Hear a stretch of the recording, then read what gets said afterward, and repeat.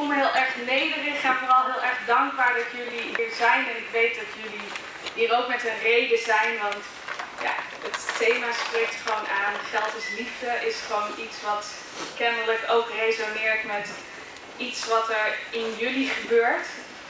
En um, ik ga eerst even spreken. Ik ga straks de praktische toestanden doen. Ik ga gewoon gelijk in het onderwerp duiken. Dan ga ik uitleggen hoe de dag eruit ziet en zo. We gaan eerst over geld is liefde. Uh, we gaan het eerst over geld is liefde hebben. Want um, ik, twee jaar geleden ben ik gestopt met mijn baan. En ik, het was het plan om mijn bedrijf op te bouwen voordat ik um, zou stoppen met mijn baan. Want uh, nou, dat leek me praktisch en handig en vooral slim. Uh, maar dat lukte niet. En uh, er was dat stemmetje in me wat zei, je hebt iets belangrijkers te doen, je hebt iets groters te doen. En niet groot als in de zin van ego, maar gewoon iets, iets speciaal voor jou. Iets wat helemaal bij jou past. En ik had gewoon ook dromen. Ik had een super grote connectie met de wet van aantrekkingskracht, zoals jullie allemaal wel zullen weten. Uh, ik wilde super graag schrijven. Ik wilde niet op kantoor zitten. Ik, wat ik deed, wat, ik droeg, ik, ik, droeg wel bij. maar um, niet zoals ik echt graag zou willen. En er, was al tien jaar daarvoor, had ik mezelf al de vraag gesteld, als ik alle keus van de wereld zou hebben, en dat hebben we, dat had ik al gehoord, en dat had ik ergens gelezen, van we leven in een universum met oneindige mogelijkheden en je kunt alles doen in het leven wat je wilt. Dus toen dacht ik, oh, als dat zo is, dan wil ik schrijven en, en leren over de wet van aantrekkingskracht en hoe we onze realiteit creëren. En dan wil ik dat delen met andere mensen. Um, maar goed, dat ging niet zo makkelijk van de ene op de andere dag. Daar, was een kleine learning curve voor nodig. En twee jaar geleden dacht ik, ja, ik ga er echt voor. Ik weet niet wat ik wil doen. Want ik hoor dat heel vaak van mensen van, ja, het is wel leuk geld verdienen met je passie. Of hey, ik, ik voel ook wel dat ik iets wil doen, maar, maar hoe dan? Of wat dan? Nou, ik kan je zeggen, twee jaar geleden, ik had werkelijk geen idee. Er waren ideeën. Ik bedoel, ik voelde ik wil wat doen met de wet van aantrekkingskracht. Ik hou van schrijven. Dat voelde ik allemaal. Um, ik wist ook uh, dat ik, um, ik kon coachen. Ik dacht, ja, dat is niet het enige wat ik wil doen. Dat voelde ook niet als dat, dat ik alleen maar dat wil doen. Maar goed, dat kan ik in ieder geval. Op die manier was ik bezig. Uh, dus, en heel vaak denken mensen van, oh, ik heb het allemaal op een rijtje. Voor mij is het allemaal duidelijk. En daarom kun jij die stappen nemen. Nou, dan is dat bij, bij deze is dat totaal ontkracht. En vaak loop ik nog steeds zo rond. Ik heb precies hetzelfde nu ik mijn uh, Engelse bedrijf op aan het bouwen ben. Oké, ik wil iets doen. Ik weet al wat ik in het Nederlands doe. Hoe gaat dat er dan uitzien in het Engels? Ik heb geen flauw idee. Dus wat doe je dan? Dan maak je een heel diep contact met de bron. Dan vaar je volledig op je vertrouwen. En dan doe je wat er voor je neus ligt. En zo was er dus dat stemmetje in september, vorig jaar ergens, wat tegen me zei, organiseer een event, een geld is liefde event. Toen dacht ik, nee, nee, dat doe ik helemaal niet, want ik blijf liever achter de computer zitten en uh, ik, heb daar helemaal geen zin in. En ik, ik, zei wel af en toe hier en daar van ja, ik ga misschien een keer een geld is liefde event doen, maar ik nam totaal geen actie erop. Maar dat stemmetje bleef maar spreken van geld is liefde event, geld is liefde event. Oké, oké, oké, relax. Um, en toen was ik in december, had ik me opgegeven voor een event in Amerika. En opeens ergens in februari werd het onderwerp um, veranderd naar hoe je je eigen event geeft. Dus weer dat teken. Is liefde event. Ik dacht, oké, okay, oké, okay, ik doe het wel. Dus uh, ik denk, oké, okay, waar begin ik? Sprekers. Dus ik heb uh, Veronique gemaild en ik heb Margaretha gemaild. Ik dacht, nou, die, daar heb ik, ik daar, daarna, volgens jullie, maar daar was ik weer begonnen. En die zeiden eigenlijk gelijk ja. Ik dacht, oh, oké. Okay. oké, okay, dan heb ik ruimte nodig. Dus, um, nou ja, oké, dan ga ik maar hier in het hotel kijken of er iets vrij is. En zo plan ik eigenlijk al mijn werk. Ik krijg een idee ik gooi een balletje op. Uh, als, het goed, als het iets is wat meant to be is, dan, dan rolt het vaak, zeg maar. Dan gaat het vanzelf. En als er ergens een gesloten deur is, dan weet ik, hé, hey, oké, dit klopt ergens niet, wat wil ik dan? En dat is eigenlijk wat liefde ook met je doet. Die laat je zien waar er ruimte is. En, en hoe is geld? Geld is liefde. Het is natuurlijk niet alleen het event, het is ook mijn programma. Het is eigenlijk mijn hele filosofie. Want toen ik die twee jaar geleden stopte, dus met mijn baan, had ik echt, uh, ja, ik gaf zeg maar mijn inkomen op mijn vaste inkomen en ik had geen inkomen. Ik had geen klanten, ik had, ik had een website. maar dan heb je geen bedrijf. Ik had een website, ik had uh, eh, 35 mensen op mijn e-maillijst of iets dergelijks. Ik, blogde al wel regelmatig, maar ik deed dat gewoon. Ja, en ik had daar wel dromen over, maar ik had geen flauw idee wat ik daarmee wilde doen. Um, dus het was gewoon echt een groot risico. En heel vaak dan zeggen mensen van, ja, moet ik dan ook gewoon die stap nemen om maar gewoon te springen? En ik kan nooit die verantwoordelijkheid zeggen, eh, of nemen om te zeggen of jij dat wel of niet uh, moet doen. Ik voelde zo verschrikkelijk diep van binnen, dit is wat ik moet doen. En ik had zoiets, nou als het niet lukt, nou dan, ik, ik ging een beetje denken aan de worst case scenario. Dan verkoop ik mijn huis of zo, of ga ik bij mijn ouders op de zolder wonen als ik dan echt niet ander werk kan vinden.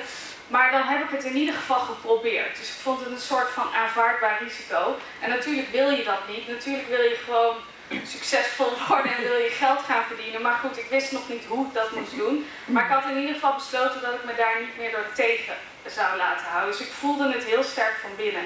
En daarom heb ik die stap genomen. En ik denk dat het gevaarlijk is als je niet dat hele sterke gevoel hebt uh, om het te doen, omdat je dan vanuit angst gaat leven en niet vanuit liefde. En het is niet zo dat ik die, dat vertrouwen 24 uur per dag bij me had. Dat was echt niet zo, want ja, heel vaak twijfelde ik, oh mijn god, en ik, dan kwam er 200 euro op mijn bankrekening en dan dacht ik, oh man. En, maar goed, nee, maar het vertrouwen vinden, weet je, vertrouwen vinden. Maar ik leerde heel veel in die maanden over geld, over geld manifesteren. Want ja, ik liep tegen de ene blokkade na de andere aan. Want wat vraag ik voor prijzen? Zitten mensen hier überhaupt wel op te wachten? Uh, wat, wat is mijn waarde eigenlijk? En oké, de wet van aantrekkingskracht. Waarom betalen mensen daar mij geld voor? Al die vragen die jullie misschien in jullie eigen uh, bedrijf ook herkennen. Daar ben ik allemaal doorheen gegaan. En dat was, dat was best een uitdaging. Ja, laat ik, laat ik het zo zeggen. En na een maand of negen, ik had wel al, hè, het ging al wel redelijk met geld, maar nog niet, nog niet zoals ik echt zou willen. En ik zat in de auto en ik dacht, hoe zit het toch met dat geldstuk? Want alles is energie, de wet van aantrekkingskracht. Ik zat, er, ik zat er niet eens over na te denken, maar ik stelde gewoon allerlei vragen aan het universum, wat ik gewoon super vaak doe. En opeens hoorde ik zo'n stemmetje van boven. Geld is liefde. Ik dacht, mag ik vloeken? ik dacht, geld is liefde. Ik dacht, man. En, en dat, dat, dat drong zo door tot, tot mijn hele wezen. Ik dacht, maar hoe heb ik geld altijd gezien? Geld was moeilijk, ik moest hard werken voor geld, ik moest me opofferen voor geld. En al die, al die dingen die ik deed uit angst.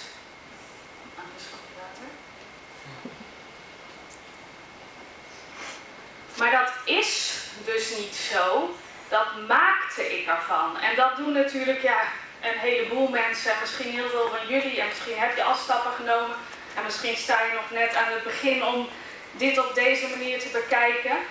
Um, en daarna, ik, dan is het nog steeds een proces, maar daarna dacht ik, ik kan gewoon elke actie die ik neem, kan ik nemen vanuit liefde in plaats van uit angst. Dus ik hoef geen uh, klanten te helpen die niet me resoneren. Ik hoef geen prijzen te vragen die niet echt bij mij passen. Eigenlijk hoef ik niks te doen wat niet in iedere cel van mijn lijf resoneert met wie ik ben.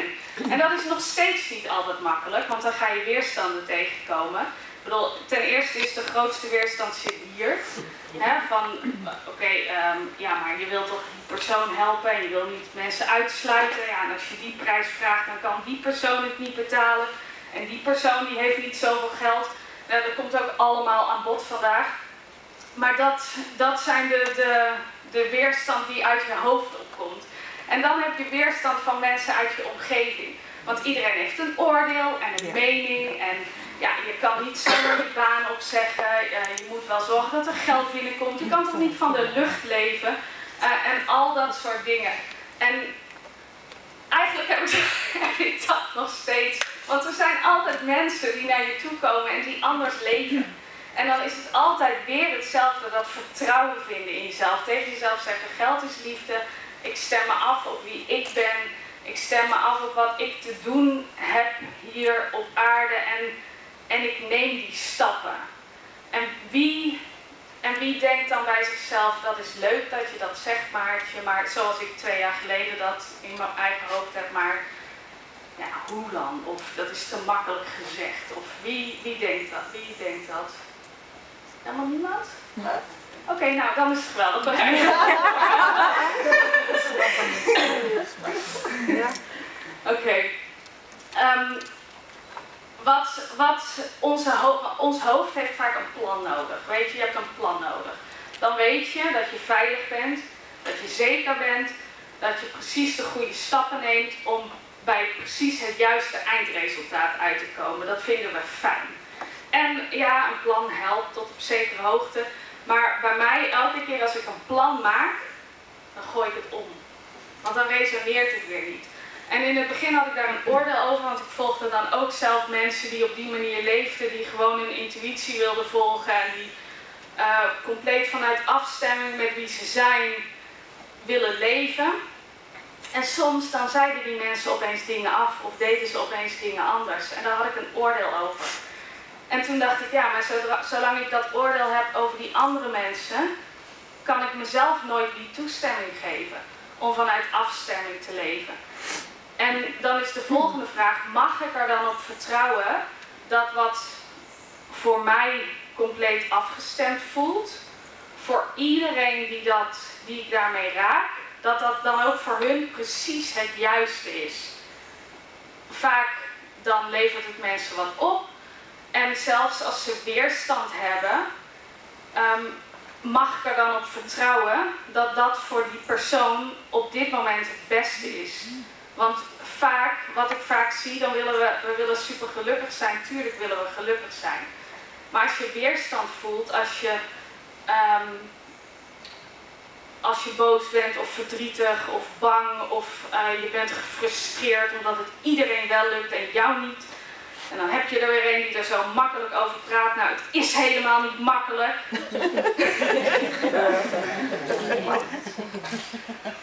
ik, ik heb geleerd om iedereen de ruimte te geven in zijn of haar proces. En dat is niet altijd makkelijk, vooral niet, vooral niet bij de mensen die dichtst bij je staan. Dat is niet natuurlijk het thema van vandaag. Maar je wil gewoon, het doet pijn als je ziet dat mensen pijn hebben. Ook al, ook al zijn het je klanten en zijn ze gefrustreerd over iets wat je doet. Of komen ze bij je omdat zij uh, al hun hoop en vertrouwen in jouw handen leggen. Want ja, jij bent immers de expert. En jij gaat ze wel even redden. En jij gaat ze wel even helpen daarmee. Um, en als je niet uh, mensen op hun wenken bedient, dan, zitten, dan komt daar altijd weerstand bij. Dus toen ik mijn eigen beslissingen ging nemen, oké, ik ga niet meer, ik ga niet meer die baan in loondienst. En vervolgens, ik ga niet meer de hele wereld helpen. Ik ga alleen maar zeggen wat ik echt wil zeggen, uh, precies zoals ik het voel. En als mensen daar dan weerstand bij hebben, ja, dan moet ik een manier vinden om daarmee om te gaan. Dan, dan, ik moet ik moet die weerstand te laten zijn, ik moet ze de ruimte geven. Ik heb het bijvoorbeeld vorig jaar met mijn eigen moeder gehad. Uh, als, uh, als ze straks naar de opnames kijkt. Sorry mam, ik hou van je. maar um, ik, ik, deel natuurlijk alles. Dat, is, dat voelt goed voor mij. Ik zeg niet dat andere mensen dat moeten doen. Um, dat geeft mij als ik open en eerlijk ben, geeft het mij toestemming om mezelf te zijn en compleet van mezelf te houden. En dat maakt me heel gelukkig. En dat is niet altijd makkelijk. Uh, zoals vorig jaar, toen ging ik heel veel delen over mijn verslaving. Want ik was dat een soort van, dat stuk van mijn leven was ik een soort van af aan het ronden. En ik merkte gewoon, ik kan niet compleet mezelf zijn als ik me niet helemaal mezelf vergeef uh, voor het feit dat ik uh, verslaafd ben geweest. ik liep met, voor mijn gevoel, misschien wisten heel veel mensen het al wel, maar voor mijn gevoel liep ik met zo'n groot geheim rond. Um, en ik was dat nog een soort van aan het verbergen. Of ik dacht, nou dit stuk van me is wel goed genoeg. Maar dat stuk van me, als mensen daarachter komen, ja, dat, dan, ja, dan, dan is het niet interessant om mij te volgen. Want ik moet natuurlijk perfect zijn. Want anders dan, uh, dan is het, ja, daar, daar komen mensen niet voor. Maar dat zat me heel erg dwars, want daardoor, dat, dat is allemaal onbewust, dat is allemaal energie natuurlijk. Maar als je delen van jezelf er ontkent, dan, dan stopt de energiestroom. Dat werkt allemaal energetisch ook door. Als jij delen van jezelf erkent, als je denkt, ik ben nog niet goed genoeg, ik ben nog niet waar ik moet zijn, ik heb nog dit deel van mijn leven niet op orde, dan hou je letterlijk de stroom van klanten tegen. misschien moet, dat, moet, dat even, moet je dat even verwerken, maar dat is wat ik toen deed. Ik kon gewoon geen nieuwe klanten binnenlaten, omdat ik zelf het gevoel had, dit stuk, dit maakt me geen goede coach. Dit stuk maakt me geen goede um, inspiratiebron of wat ik, hoe ik mezelf dan ook wil noemen. Want dat is, dat is niet wat ik ben trouwens ook. Maar oké, eh, ik had een oordeel erover. Dus, en dan is er voor mij maar één oplossing. Dan gooi ik het naar buiten toe. Dan zeg ik gewoon, dit is wie ik ben. Dit is een deel van mij. En, en als je het niet accepteert, daar het gat nou ja, dat schreef ik natuurlijk niet letterlijk, maar dat voel ik dan wel. Hallo. Ga lekker zitten. Gat ja. Kijk, en dat is iets energetisch, want geld is liefde. Alles is liefde. Geld stroomt naar jou toe als jij jezelf ziet als een bron van liefde. Als jij jezelf ziet als dit, als een heel persoon, als jij denkt, ik ben het waard. Ik, kom, ik doe iets waardevols en dat hangt niet af van wat je doet, maar dat hangt af van wie je bent. Want anders dan gaan mensen heel hard werken om te zorgen dat ze het waard zijn. En dat is ook geen vorm van liefde. En daar begon ik al die inzichten over te krijgen de afgelopen, de afgelopen twee jaar. Want dat is wat ik wil. Ik wil leven vanuit liefde. En dat is volgens mij wat een heleboel mensen willen. En we willen liefde creëren, we willen liefde delen. We willen ook dat andere mensen gelukkig zijn. En dat kan niet door in rondjes te rennen en mensen gelukkig te maken uh, om hun weerstand weg te nemen of om hun pijn weg te nemen dat is zo belangrijk aan dat stukje, dat je dat er gewoon kan laten zijn.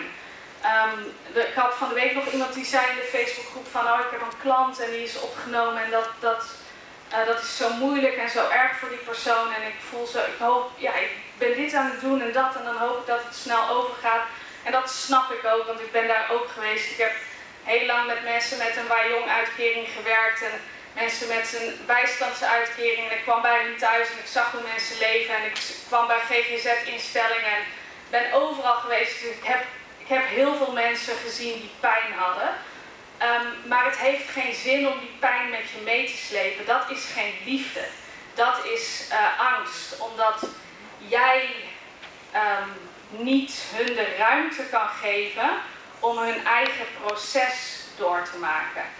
Um, en als je geld wil laten stromen, dan is dat gewoon heel belangrijk om te leren. Want anders ben je, blijf je iedereen accommoderen, heel hard werken voor je geld. Want dat is wat we hebben geleerd.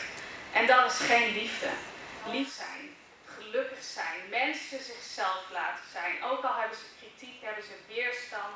En dat is moeilijk. Vooral als je gevoelig bent.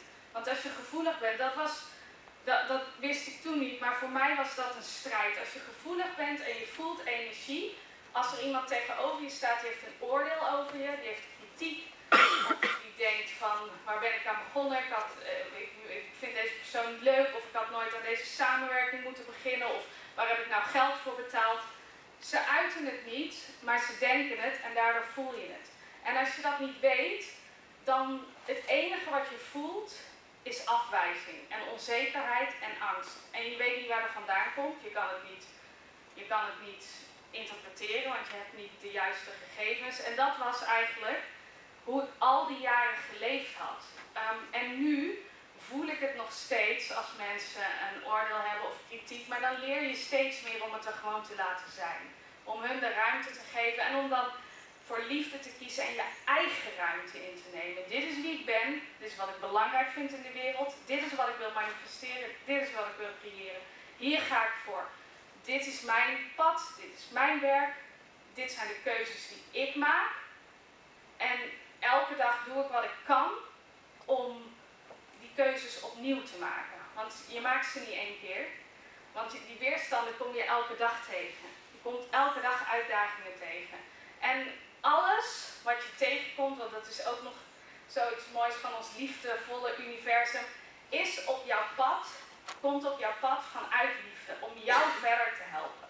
Ook dingen waarvan je denkt, hmm, dit is niet fijn, ik weet het niet, dit is rot, ik wil niet in deze situatie zitten, is er om jou te helpen. Ook al heb je het gevoel dat je vastzit, dat is een uitnodiging om voor vrijheid te kiezen. Als je het gevoel hebt dat mensen je in de steek laten, wat heel pijnlijk kan zijn, is het een uitnodiging om voor vertrouwen en voor liefde te kiezen. Alles, alle negatieve wat je meemaakt, is een uitnodiging om een andere keuze te gaan maken. En dat is het mooie van de wet van aantrekkingskracht en je, creëer, je kan je eigen realiteit creëren. Je kan kiezen. Je bent geen, we zijn geen speelballen van het universum. We zijn gewoon krachtige creators en we kunnen keuzes maken. En dat, dat is gewoon zo verschrikkelijk fijn. En in het begin dacht ik, ja, toen ik dat net hoorde. In de eerste instantie dacht ik, nou dat kan wel zo zijn, maar dat wil ik niet geloven, want ik heb hier een hele berg ellende gecreëerd en nou, daar ben ik toch zeker niet verantwoordelijk voor. Hè? En, ehm, en mijn ouders, de schoonouders, uh, die persoon, die persoon, en mijn baas. En die hebben natuurlijk ook hun stront op die, op die hele grote berg neergelegd. Nou, dat is ook echt niet mijn verantwoordelijkheid. Dus in het begin moest ik er echt niks van hebben. En later dacht ik, ja, want ik ging weer zelf aan de slag met het stoeien. En um, toen dacht ik, ja, maar wat ik nu aan het doen ben, ja, dat werkt eigenlijk ook niet. En misschien zit er een punt in. Misschien uh, moet ik verantwoordelijkheid nemen voor hoe ik me voel, voor mijn leven, voor wat ik creëer. Alles wat ik creëer. Niet, niet, niet, alleen, niet alleen de grote dingen, maar ook de willekeurige dingen. En zelfs de mensen die ik in mijn leven aantrek. Iedereen um, komt namelijk je leven binnen om jou te helpen groeien, om je iets te leren, om je iets te brengen, om jou te helpen op dat pad van liefde. Ook de mensen die jij op die berg neer wil leggen. Dat je denkt, verzuip, verzuip maar in mijn stront. en, en, als je dat weet, oké, dan, dan is de pijn niet weg. Maar dan is het elke keer wordt het makkelijker om voor liefde te kiezen. Elke keer als je door de emotie heen bent gegaan, door het verdriet of de pijn, dan denk je oké, maar nu kan ik ook weer een andere keuze maken. Dus wat wil ik dan? Um, en dan komt het hele spel van manifestatie om de hoek kijken. Want nou weet ik wel wat ik wil. Maar hoe zorg ik ervoor dat het in mijn leven binnenkomt? En dus ga je pad op van afstemmen elke dag op wat je wil bereiken. Je eigen energie verhogen heel veel mooie en leuke dingen tegen jezelf zeggen. Ik ben het waard, ik hou van mezelf, ik ben liefde, ik ben succesvol. Um, ik heb het nog nooit geuit voor 50 mensen. Tell it! en in het begin voel je je dan reuze eng. En als je het voor de eerste keer in een volle kamer doet, dan voel je dat ook reuze eng. Want we, zijn, we hebben zo niet geleerd om dat soort dingen tegen onszelf te zeggen. We hebben ja, ik, heb, ik had het ook met mijn dochtertje op school. Dan kom je voor een 10 minuten gesprekje. En dan hoor je alleen maar, ja, ze kan niet stilzitten, ze kan haar aandacht er niet bij houden. Ehm, ze, ze gaat heel vaak naar de wc en dan blijft ze een kwartier weg. En alles is interessant, behalve waar ze mee bezig is. Uh, lezen en rekenen en schrijven en dat soort. Nou, schrijven is nog wel leuk, maar lezen en rekenen, vooral lezen, was een drama. En, um, maar ja, dat moet ze leren, want dat hebben wij besloten. Weet je, wij hebben besloten dat als mensen dit stappenplan volgen, dan, um, nou, dan worden ze een um, correct persoon. En dan kunnen ze in de maatschappij meedraaien. Waar we ze daar weer zeggen wat ze moeten doen. En waar we uh, daar weer de regels bepalen. Dus dat begint natuurlijk al als we heel uh, jong zijn. Um, en dat was ja, heel veel kritiek, heel veel dingen die ze moet veranderen en waar ze, waar ze zich op aan moest passen. En dan wordt er wel gezegd, ja, ze is wel echt lief voor. Ze is wel lief, maar ze moet dit en dit en dit leren, hier moet ze aan werken. Dus ik zeg, nou ja, weet je, dan leert ze, niet, leert ze nu niet lezen, leert ze volgend jaar, maakt het niet uit. Ja, dat maakt wel uit, want als ze het niet leert, dan blijft ze zitten, hè, want dan heb je niet, dan voldoe je niet aan de norm. En het, dat onbewust werkt dat allemaal zo door, van kleins af aan, wordt er al geprobeerd om ons in dat malletje te drukken. En um, vervolgens ben je 15 jaar bezig om eruit te komen.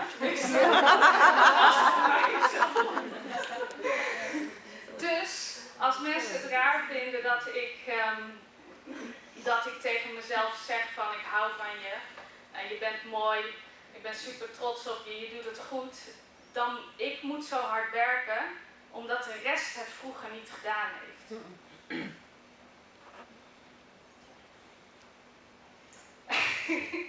en dus wil ik gewoon, ik wil het tegen mezelf zeggen, maar ik wil het ook tegen andere mensen zeggen die ik tegenkom. Ik wil gewoon zeggen dat je een fucking mooie jurk aan hebt. Weet je, dat je super sexy eruit ziet.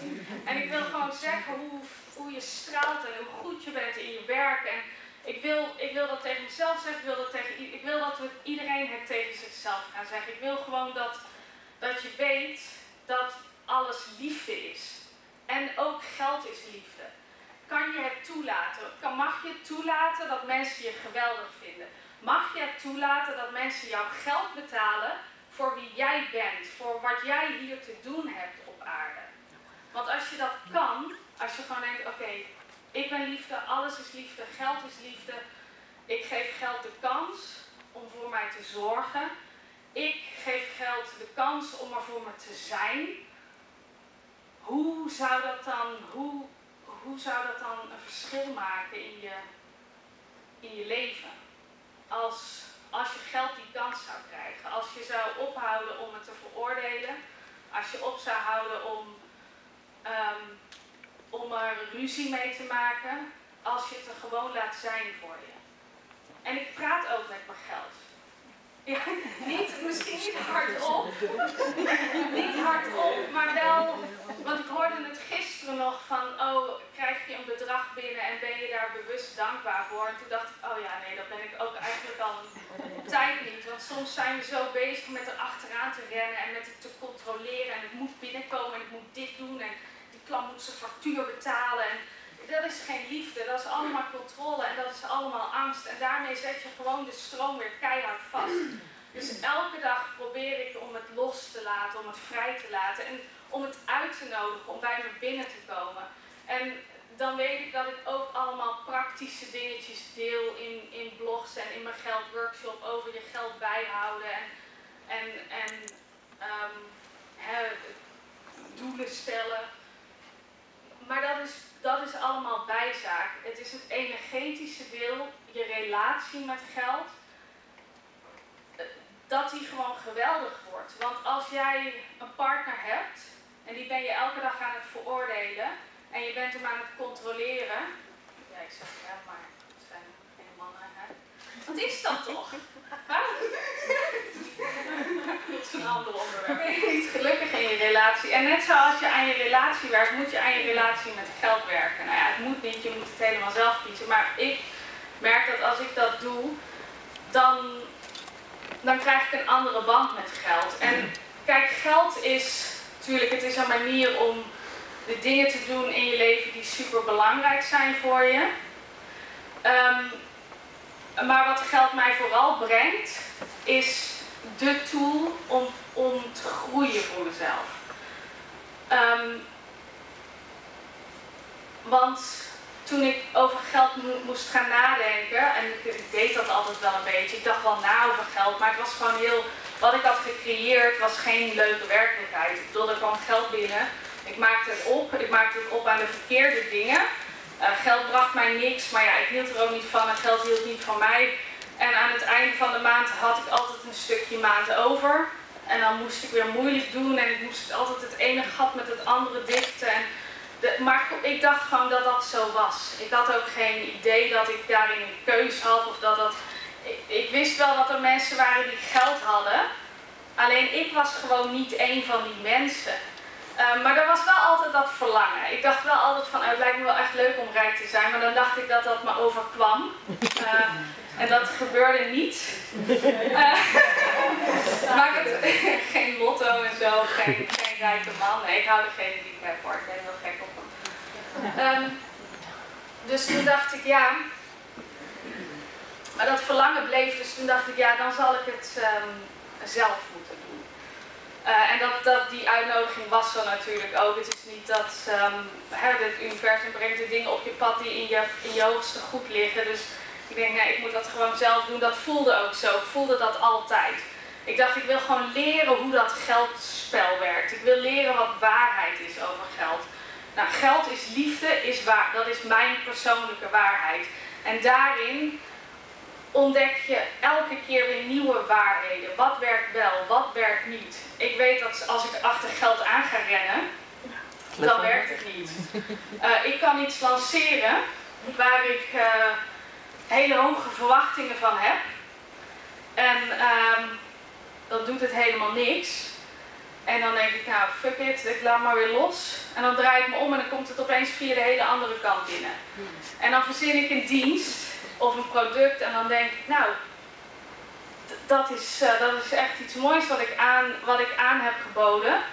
En dan nou, maakt het niet zo heel veel indruk. En dan komen er van de achterkant mensen die vragen mij of ik dit of dat wil creëren. En dan hebben ze het eigenlijk al een soort van gekocht voordat ik het überhaupt gemaakt heb. Dus, en dat stelt me dan altijd, hè, dat laat me dan altijd nadenken over, huh, interessant. Je hoeft dus eigenlijk helemaal niet na te denken. Je kan gewoon je inspiratie volgen en erop vertrouwen dat het goed komt. En natuurlijk stel ik mijn doelen. Natuurlijk heb ik een bedrag in mijn hoofd wat ik wil verdienen, waar ik heen wil. Maar omdat ik weet dat als ik daar ben, dan ben ik weer een ander persoon. Dan heb ik weer geleerd om mijn energie te verhogen. Dan heb ik weer geleerd om meer waarde te geven aan meer mensen. Of om meer waarde te geven aan één mens. Want dat is, dat is alles wat het is. Het is een waardeuitwisseling. En daar ligt ook wat weerstand op als ik dat zeg. Want daar is geen rekensommetje, daar is geen rekensommetje voor natuurlijk. Het is niet van, oh, ik ruil deze waarde tegen dit bedrag en dat is voor iedereen hetzelfde. Nee, dat is, dat is heel persoonlijk. Ga, ga lekker hier zitten. Ja.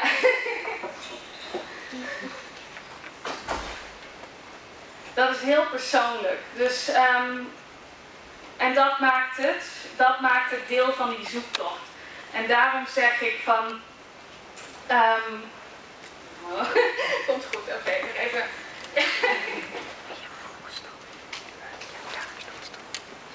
Ga maar. Alles goed hoor, ga lekker zitten. We hadden het over geld. Oh ja. gewoon over geld. Verkeerde plaats. We hebben ook iets wat we hebben geleerd, dat we het gewoon echt niet over geld mogen hebben. Dus echt nat dan. Wat verdien jij? Nee, dat ga ik echt niet vertellen. Ben je gek. Want dan gaan mensen dingen over, dingen over me denken, dan verdien ik niet genoeg of ik verdien te veel. He, je schaamt je voor wat je verdient. Of uh, wat ik heel vaak hoor, van ja, maar ik, ik verdien nog niet genoeg geld, dus ik kan mensen hier of daar of daar niet mee helpen. Uh, of um, dat je te veel verdient en dat je niet wil dat mensen uh, een oordeel over je hebben. Dus dan kan je het ook niet delen. Er zitten zoveel weerstanden op geld. En elke keer als ik zo'n weerstand tegenkom, als ik een oordeel tegenkom, dan krijg ik weer de eer van het universum om daarmee aan de slag te gaan. Om te denken, oké, mag ik geld ontvangen? Mag ik geld ontvangen en mag het er ook gewoon zijn? Want in het begin ging ik alles uitgeven, want ja, daar was ik zo gewend. Ik was gewoon zo gewend om het allemaal uit te geven en niets meer over te houden. Dus dan denk je, ja, dit werkt ook niet. dus oké, volgende stap. Mag het er gewoon zijn? Mag ik het gewoon op mijn spaarrekening zetten en dat het er gewoon is? Oeh. dat was ook een grote. En elke keer kom je die weerstanden tegen en, en daar, ga je, daar ga je doorheen. Dat hoeft, niet, dat hoeft niet verschrikkelijk moeilijk te zijn hoor. Nu is het vaak zo. Ik had gisteren een gesprek met een, een nieuwe coach. En die ging echt diep. Echt dat er gewoon nog steeds iets groots zat over ik en vertrouwen en liefde en, en geld. En, maar ik had, en ik had er wel bepaalde emoties bij, maar ik was niet compleet van slag omdat ik dit nou ontdekte. Het was meer zo van, oh hé, hey, kijk, weer een nieuwe, uh, een, nieuwe, een, een nieuwe uitdaging of een nieuwe weerstand, een nieuwe overtuiging. En, ik weet, en zij zegt dat ook, als je daar doorheen bent, nou bam, dan heb je je inkomsten weer verdubbeld. Ja, het klinkt super simpel, je gaat natuurlijk een proces doorheen. En dat, dat, zijn, dat zijn ook aannames, weet je. Aannames van hoeveel verdien je, hoeveel mag je verdienen of wat is normaal. Want ik had altijd de overtuiging toen ik in loondienst werkte, nou ik verdien zoveel geld en that's it. En er was zo'n klein stemmetje in me toen ik stopte met werken van oké, je levert je salaris in, maar nu is er geen plafond meer. En wat ik heel veel zie is dat mensen zelf hun eigen plafond opleggen. Nou, ik, 3000 ah, euro of 2000 euro, dit is wat ik ga verdienen. En sommige mensen houden dat bedrag hun hele leven bij zich. Misschien heb jij dat ook wel, dat je denkt, nou, ik ben onderweg naar zoveel geld of ik verdien zoveel geld en dit wil ik gewoon in stand houden. Waarom? Weet je, kijk, als je het fijn vindt, tuurlijk. Maar er is nog zoveel meer mogelijk. En geld is maar energie. Het, het, we koppelen het aan de diensten die we leveren, aan de, de klanten die we binnenkrijgen, aan de programma's of die, we, die we neerzetten of aan het werk wat je doet. Maar het is maar energie. Het kan overal vandaan komen. Het kan het kan als een soort stortvloed over je heen komen. En als je dat nog nooit hebt ervaren, dan denk je, nou, dan is het echt een theoretisch begrip. Maar als je aan je geldmindset gaat werken, als je elke dag geld in de ogen kijkt, je blokkades in de ogen kijkt en denkt, oké, waar voel ik nog weerstand? Wat, wat, wat voor beperkende overtuigingen heb ik nog over geld? En als je daarmee aan de slag gaat en je, je doet wat er in je macht ligt om dat om te draaien, en er zijn heel veel manieren om dat te doen, dan, dan kun je weer groeien. Dan neem je een stap. En dan hoef je dus niet dit bedrag te verdienen voor zoveel jaar. Dan kun je twee keer per jaar je inkomsten verdubbelen. Ja, dat is wat ik gedaan heb. Ik weet, en ik weet niet waar het eindigt. En als ik dat zo hoor, dan denk ik, ja, al die, hoor, ik weer die gremlins. Want wie ben ik, weet je? Maar goed, nee, ik ben het waard. en zoals iedereen het waard is, weet je. Ik gun het iedereen ook om geld te verdienen. Dus zo is het ook helemaal niet. Ehm, en het gaat uiteindelijk nooit om het geld, het gaat niet om die papiertjes. Het gaat om de persoon die je wordt onderweg daarheen. Het gaat om dat je een grotere ruimte inneemt, dat je er bent voor mensen. Dat je je eigen waarde uh, gaat voelen en dat je gaat zeggen, oké, dit is wie ik ben, dit is wat ik doe, ik vertrouw erop, want we krijgen allemaal de inspiratie van het universum om dingen te doen. De hele dag horen we die stemmen, net zoals ik dat hoorde. Ga dat geld is liefde event doen, ga dat geld is liefde event doen. En dan heb je een keus. Ga je er naar luisteren, dus Ga je een actie nemen vanuit liefde of zeg je nee, dat is te eng, te moeilijk, dat kan ik niet, wie ben ik, bla bla bla. Dus um, onderneem je je actie vanuit angst. En elke keer als je vanuit angst die keuzes maakt, liefde die keuzes maakt, omdat je diep van binnen voelt, dit is wat ik moet doen, dan gaat die geldstroom omhoog. En dat is zo totaal tegenovergesteld aan wat de meeste mensen doen. Want die wringen zich in bochten, dus die leven vanuit die angst. En dat zijn de mensen die zullen nooit rijk zijn. En dan heb ik het niet alleen over geld, want geld is, het is maar, dit is maar een ding, het is maar energie. Ehm, dan heb ik het over een rijk leven, waarin je kan doen wat je wil, waarin je ehm, kan creëren, waarin je vertrouwen voelt, waarin je super gave mensen ontmoet, waarin je connecties mag maken met mensen, waarin je um, gehoor kan geven aan de inspiratie die je voelt. En ook al heb je daar een beetje tijd voor nodig en roep je een half jaar lang nee, weet je, dat maakt helemaal niet uit.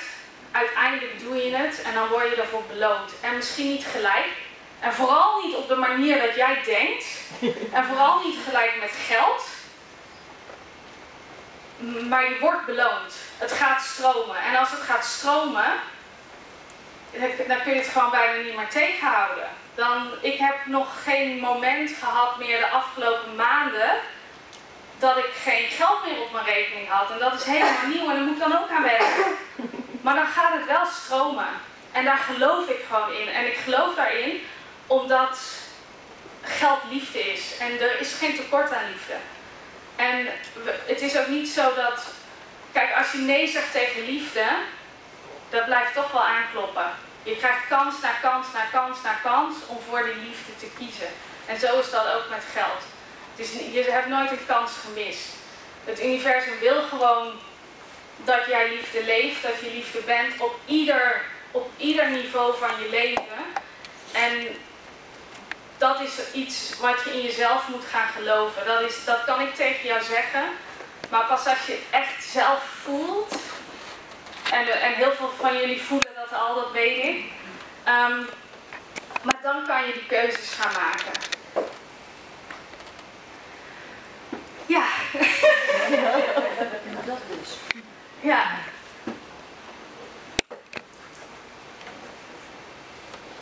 Ja, dat was fijn. Hè? Dat is eraf, ja. ik denk, oké, okay, nou is het klaar. Nee. oké. Dat, dat is wat ik heel graag wilde delen over geld en geld is liefde. En nou voelt het als zo'n um, als zo'n um, harde overgang om praktische dingen te doen. wel even gebeuren, omdat ik gewoon gelijk over geld is liefde wilde kletsen. Um, dit is gewoon wat we gaan doen vandaag. We gaan het over dit onderwerp hebben. We gaan, ik heb sprekers uitgenodigd. Dit is een event van vertrouwen. Ik heb helemaal, ik weet een beetje wat ze gaan zeggen, maar ik heb alles op intuïtie gedaan. Ik heb, ik heb gehoord of doorgekregen van dit moet gebeuren. Ehm, dus we, we, varen hier op vertrouwen vandaag. En dat, dat is goed. Dat is precies zoals het behoort te zijn. Ik, voel, ik heb wel afgestemd op hoe ik wil wat je meekrijgt uit vandaag. Ehm, dus ik weet waar de energie heen gaat en ik hoop dat ik een goede toon daarvoor heb gezet. Ehm, het is geen praktisch event, want we, gaan, we hebben het nou over universele energie, geld, liefde. Ik ga, we we gaan, niemand gaat je leren hier vandaag hoe je moet budgetteren of iets dergelijks. We gaan contact maken met die energie van geld. En iedere spreker, gaat dat op zijn eigen manier doen vandaag. En ik heb ook super veel zin om naar ze te luisteren. Um, om 11 uur hebben we zo dadelijk een kleine pauze. En daarna gaat Margaretha, ja toch? Heb ik goed? Ik heb mijn blaadje achter. Margaretha eerst um, iets met jullie delen. Iets goeds, ik heb geen idee.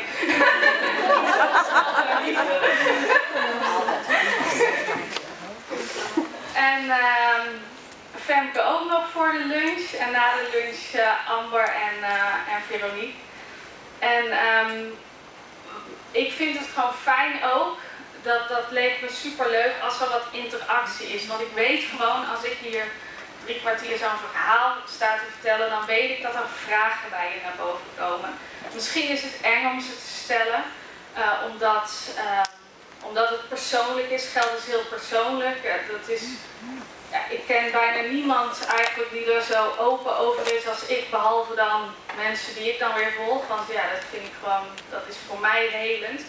Maar als je vragen hebt, iedere spreker heeft aan het einde een stukje Q&A wat ik zal leiden.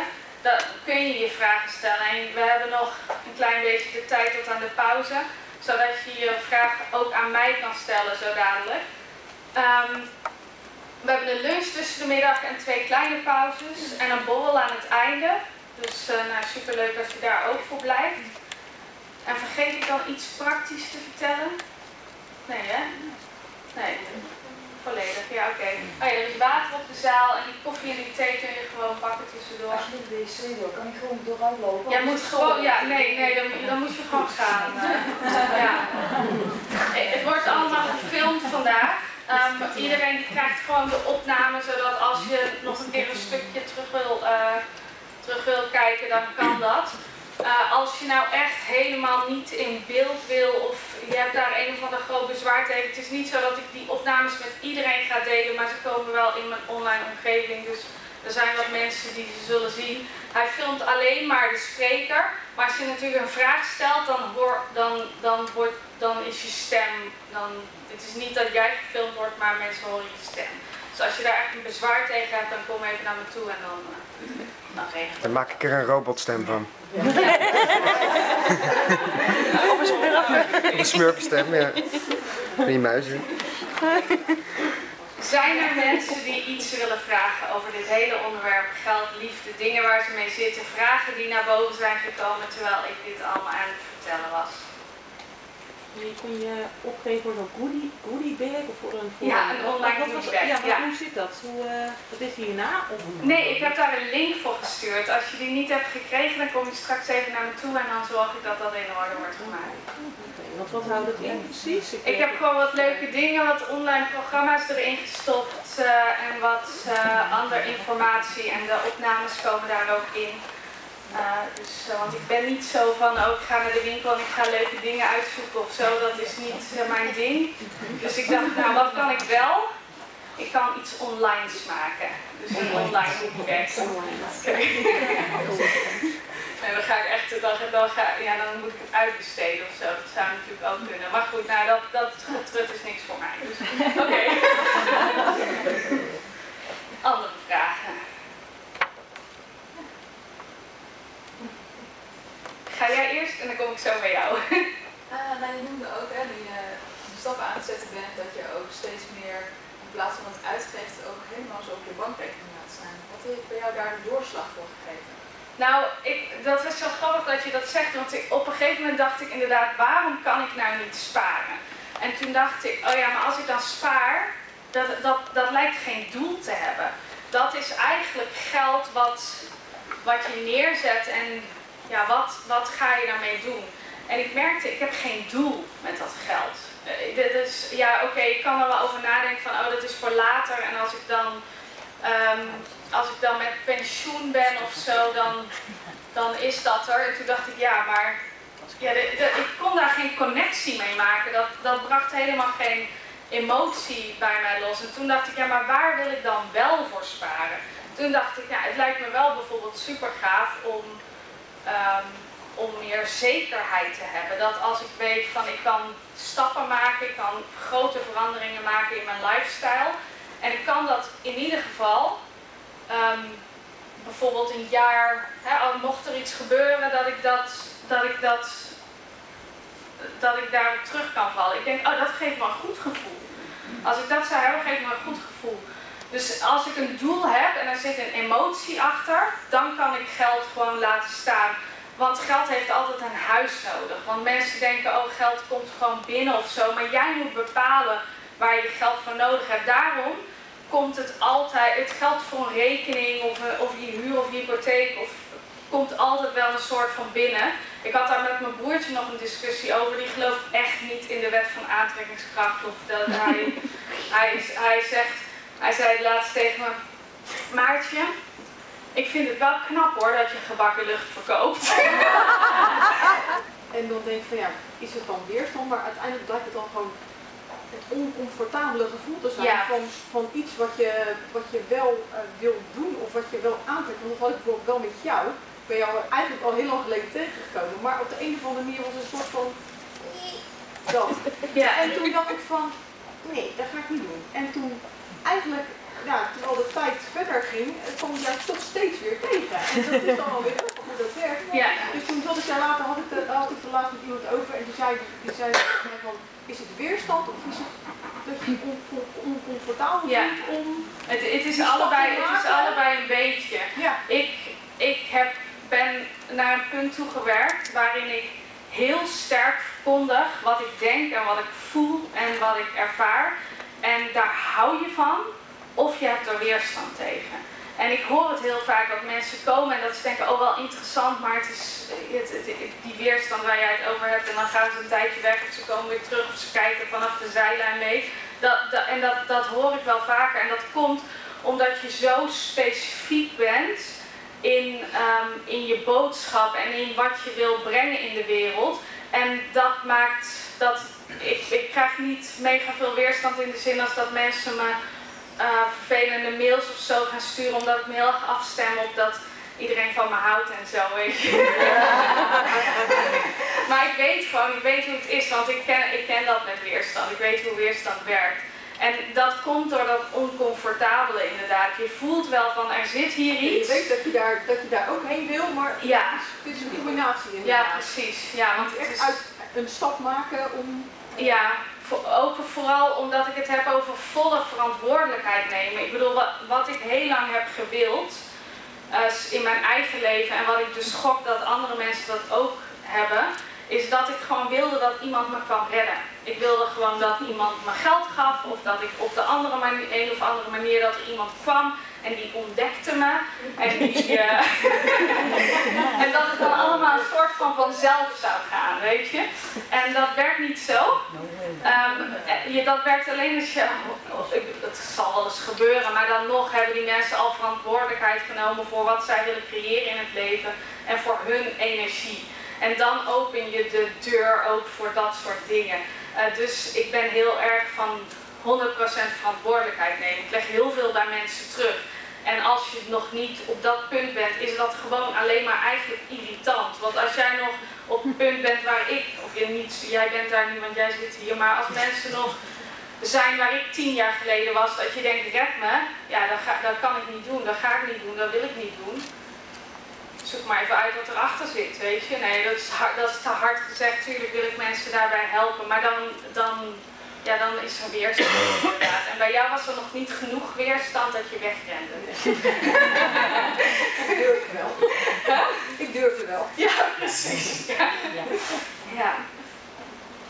Nog andere vragen? Mag ik even op inhaken? Wat je net zegt, daar zit ik namelijk een beetje mee te stoeien. Ehm, het helpen van andere mensen. Ja. Ik druk nu even on- onhandig uit hoor, maar eh, ik voel ook dat dat klaar is. Ik wil, ik wil wel andere mensen helpen, maar ik wil ook mensen hun eigen ding laten, ook dingen teruggeven. Ja. En dat ze ook hun eigen ding daarin mogen Ja. ontdekken. Ja. Maar betekent dat dan niet dat je dan, eh, dat je dan niet meer helpt of zo? Of? Jawel, jawel. Nee, ja, juist, Ja. juist. Juist help je alleen op jouw manier, op met jouw voorwaarden. Ja. Je reikt het dan als het ware aan. Dus je, je gaat niet meer met de ander mee, Mhm. maar je reikt het aan. Je hebt dan met grenzen te maken. Dan. Ja, en dan kan iemand dat pakken of niet. En, en dat is die, die verantwoordelijkheid van die persoon.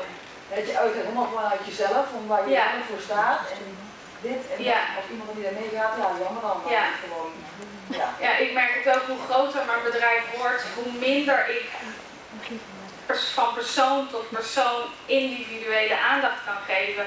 En elke keer als ik op een ander level kom, dan zijn er dingen die ik niet meer kan bieden, die ik voorheen wel bood, maar waar ik gewoon de tijd niet meer voor heb. En dat is elke keer, oké, dit is ook goed genoeg. Hiermee lever ik ook superveel waarde. Als, als ik een groepscoaching doe, is het ook super waardevol. Ik hoef dan niet iedereen meer individueel. En elke keer als je andere keuzes maakt voor jezelf, als jij gelooft dat dat gewoon waardevol is wat jij biedt, eh, op jouw voorwaarden, zodat het ook voor jou werkt, ehm, dan kun je de klanten naar je toe trekken die daar ook helemaal mee resoneren. Want je wil helemaal geen klanten die tegen jou zeggen van luister eens, ik huur jou in, jij moet dit en dit en dit voor mij doen. En als jij dat niet goed, niet goed genoeg doet volgens mijn normen, dan, ehm, ja, dan ga ik heel moeilijk en lastig doen. Als ik, ja, ik krijg die klanten op zich niet omdat ik heel goed ben afgestemd, maar ik heb wel iets in die richting ooit meegemaakt. En daar kan je in meegaan of niet. dus je kan vanuit angst van, oh ik moet die klant bedienen, want anders krijg ik geen geld. Of dan wordt hij boos. Of, of vanuit liefde van, nee, dat is niet wat ik, waardoor, waartoe ik me geïnspireerd voel. Oké. Okay. Je had ook nog een vraag. Ja, ik hoop dat een vraag is die meerdere mensen hebben. Eigenlijk mijn hele leven krijg ik alles wat ik verwacht, wat ik wil. Jee! maar dat merk ik achteraf. Maar ik vind het nu, ik zit al jaren op een punt dat ik wel graag meer zou willen willen. Ja. Snap je? Ik ja. niet. Ik, ja. ja. Ga ervoor. Wat houdt je tegen? Als je, dat is de vraag. Ga, ga kijken wat voor overtuiging zit daar dan achter. Wat houdt mij dan tegen om die stap te maken? En wat is er voor nodig om, om hem los te laten of er doorheen te breken? Er zijn allemaal methodes voor. Maar het kan gewoon zo simpel zijn als dat jij denkt van kijk als je groter wordt, als je succes hebt, dan komen er ook verwachtingen bij. Dan komen er ook meer meningen bij van andere mensen en daar moet je mee dealen. En vaak uh, als de, het verlangen niet groter is dan bijvoorbeeld zo'n angst, dan hou je jezelf klein. Want het is best wel comfortabel om inderdaad gewoon, ik kan mijn rekeningen betalen, ik kan net gewoon alles doen wat ik wil. Uh, dus het werkt op zich, dus ik heb ook geen reden, het is alleen maar dat stille verlangen. Um, maar ja, daar, komt dan, daar komen dan al die andere dingen bij kijken die ervoor nodig zijn. En ik weet niet of ik daar wel zin in heb. Ja, met zin bedoel ik van, ja, uit de comfortzone, die stappen en zo. Is dat iets wat je herkent? Uh, Oké. Ja, nog een laatste vraag voordat we pauze gaan nemen. Uh, je zei net, uh, ik verkondig nu gewoon echt wat ik te zeggen heb en uh, waar ik in geloof. Inzetten, maar ik heb gewoon geleerd, doordat je het vaker doet als je die stem volgt, ook al is het eng, dat is waar de magie gebeurt. Ja.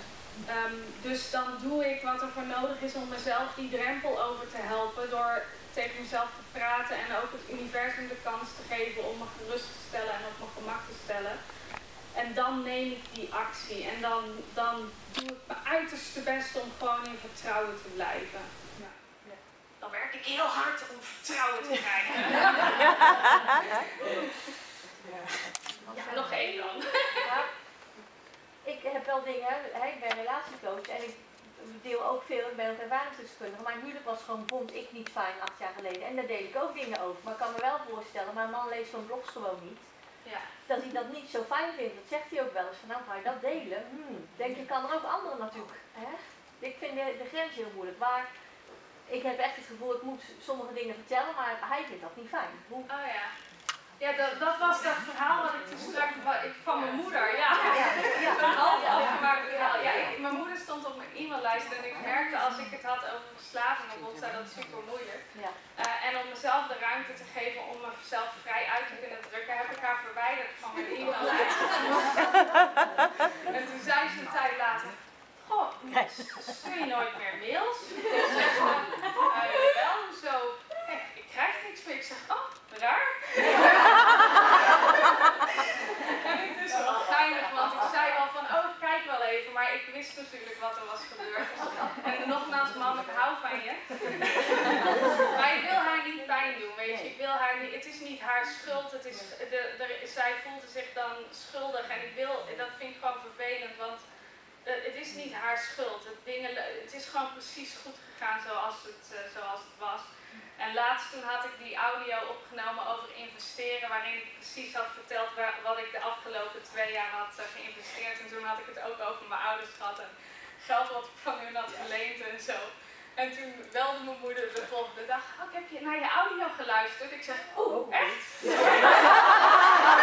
maar nu is het goed, weet je, nu is het goed. Nu, ik, heb, ik ben daar doorheen gegaan dat ook zij mag die emotie hebben, ook zij mag er zijn. Alleen ik moet dit doen. Weet je, ik moet dit gewoon. Want ik, ik hou van mijn moeder. eh, maar als ik, ik kan niet alleen voor haar schrijven. Ik kan niet, ik kan niet rekening houden in die zin. Laat haar dan maar hem- haar emoties hebben of haar mening of wat dan ook. Ehm, er zullen dingen zijn waar ik niet misschien super open over schrijf als het echt iets heel specifieks is. Dan zou ik misschien vragen van, ik wil bijvoorbeeld aan mijn man of als ik over seks zou eh, schrijven Ja, of dat over.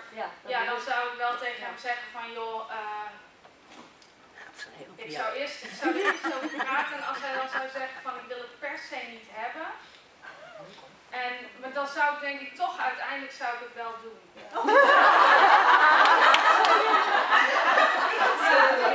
ik zo, ik weet gewoon zo dat ik mezelf op die manier uit moet drukken. Dat Hij kan er wel op afgerekend worden. Hè? Mijn blogs lezen misschien collega's ook wel. Dan denk ik van ja, hè, over mijn kinderen doe ik ook wel eens dingetjes.